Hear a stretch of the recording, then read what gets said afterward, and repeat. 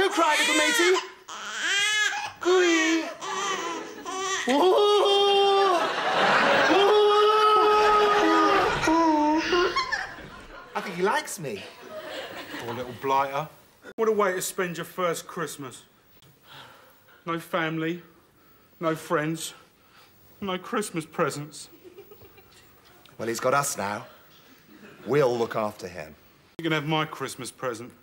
It's a box of Terry's All Gold. We'll have to wait for his little teeth to come through before he can manage the chewy ones. Oh. Yeah, look.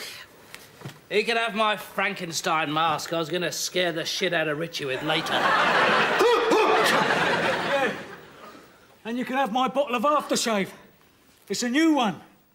It's called Grr. Gold, Frankenstein, and Gurr.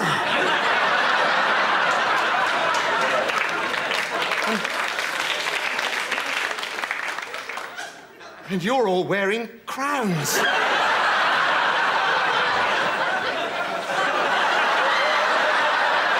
I'm a virgin.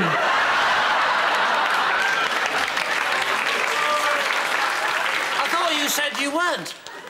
No, I know, but I am really. I was fibbing to look hunky. Ah. Didn't work, did it? No, but enough of that.